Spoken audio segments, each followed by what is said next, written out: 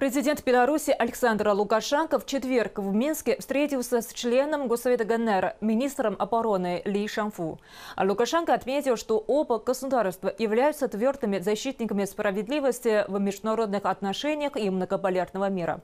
Он выразил надежду, что стороны будут продолжать работать сообща для поддержания национальной безопасности и стабильности в регионе.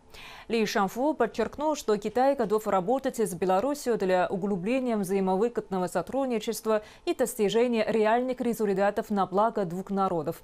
Стороны будут прилагать совместные усилия для постоянного продвижения межармейских связей под руководством глав двух государств, подтвердил Ли Шанфу.